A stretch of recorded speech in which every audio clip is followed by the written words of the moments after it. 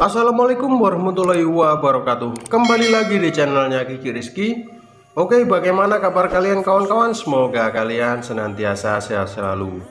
Oke bagi kalian yang saja yang baru baru bergabung dengan channelnya Kiki Rizky ya Silahkan kalian subscribe dulu ya Dan bunyikan notif Biar kalian gak ketinggalan info terupdate terbaru Seputaran otomotif dari saya Kiki Rizky.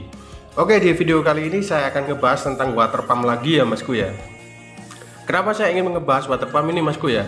Soalnya di link video saya sebelumnya ya atau di video saya sebelumnya itu banyak sekali Masku yang tanya ya Masku. Penyebab water pump bocor sama indikator suhu nyala ini sebenarnya dari apa dan bagaimana cara mengatasinya. Nah, di video kali ini saya akan kembali ngebahas ya Masku tentang water pump ya bagaimana cara mengatasi water pump bocor dan bagaimana cara mengatasi indikator suhu pada vario 125 atau 150 bila mana nyala merah ya Mas Bu. Dan kendala-kendala apa aja yang biasanya kita alami kalau kalau water pump kalian mau bocor atau udah bocor ya Mas Bu ya? Oke pertama-tama kita akan ini ya cek dulu ya Mas ya. Cek dulu water pumpnya. Biasanya kalau water pump bocor atau seal mechanical-nya bocor itu pasti akan ada rembesan ya mas gua akan ada rembesan pada bagian bawah water pumpnya.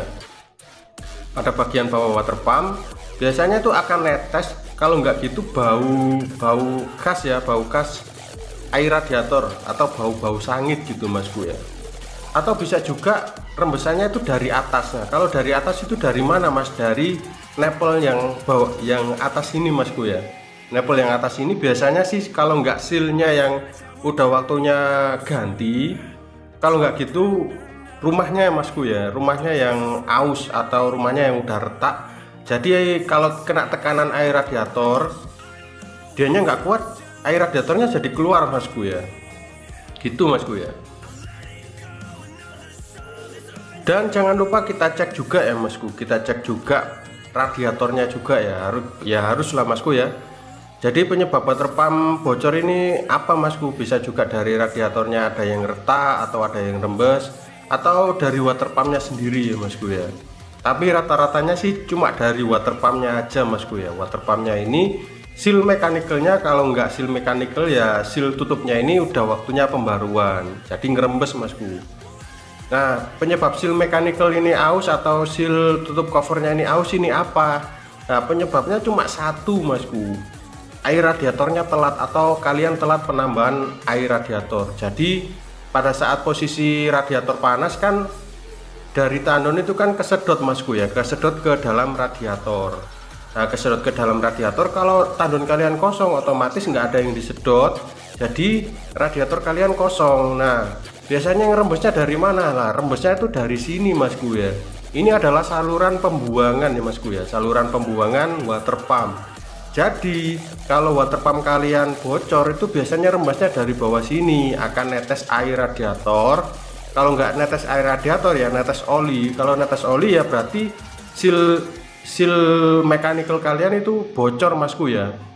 Seal mechanical kalian yang bocor masku. Kalau netes air ya berarti seal mechanical water pumpnya yang bocor. Ada dua seal ya masku di dalam water pump ini. Yang satu seal oli yang satunya hasil air radiatornya sendiri ya. Jadi bisa kalian cek atau kalian lihat sendiri ya rembesnya itu rembes oli apa rembes air radiator. Nah efek terburuknya itu apa mas?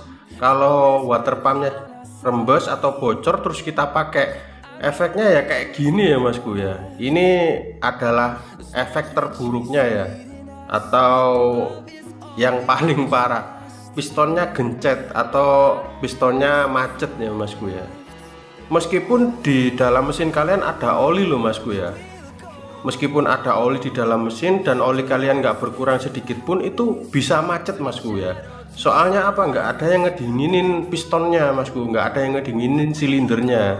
Jadi dianya muai panas kan masku ya muai jadi baret masku pistonnya gencet gitu. Nah kalau pada saat posisi dingin itu dianya cuma muter di tengah sini ya masku ya atau di jalur atas atau jalur bypassnya aja ya. Kalau kalian masih belum paham dengan video ini saya taruh link ya di di deskripsi tentang bagaimana ya atau cara memahami sistem pendingin pada Vario 125 atau 150 ntar saya kasih link aja ya biar kalian bisa nonton terus biar kalian juga bisa lebih paham ya karena di video saya sebelumnya sudah saya jelaskan detail masku ya. Sedetail-detail mungkin dan se seringkas-ringkas mungkin lah bagi pemula biar kalian paham aja ya masku ya. Nah untuk cara memperbaikannya masku ya sekarang kita ngebahas tentang cara memperbaikinya. Cara memperbaikinya apa bisa diperbaiki mas untuk water pump yang rewel kayak gini ya masku? Jawabannya masih bisa masku ya. Jawabannya pasti masih bisa caranya gampang kok masku tinggal kita buka covernya ini terus kita cek ya. Asnya ini ya masku asnya yang ada di dalamnya sini itu masih bagus apa enggak? Pertama-tama harus kita cek dulu asnya ya. Kalau asnya masih bagus otomatis cukup diganti seal mechanical-nya aja atau seal olinya aja udah beres masku ya. Udah beres nggak akan bocor lagi masku tapi kalau asnya yang ada di dalam water pumpnya kalian itu udah kropos atau udah aus ya mohon maaf aja masku. Meskipun kalian ganti seal mechanical tetap akan bocor lagi masku. Soalnya yang yang rusak itu asnya ini ya masku ya. Jadi intinya ya masku intinya kalau ada rembesan pada water pump kalian atau ada tetesan air radiator pada motor kalian itu biasanya lewat bawah sini masku. Lewat bawah water pump ini. Soalnya itu adalah saluran pembuangannya ya masku. Saluran pembuangannya. Jadi kalau ada rembes kalau ada trouble pada water pump pasti akan keluar dari bawah situ. Jadi itu indikator ya masku indikator kalau water pump kalian normal atau enggak gitu masku oke cukup jelas ya masku ya.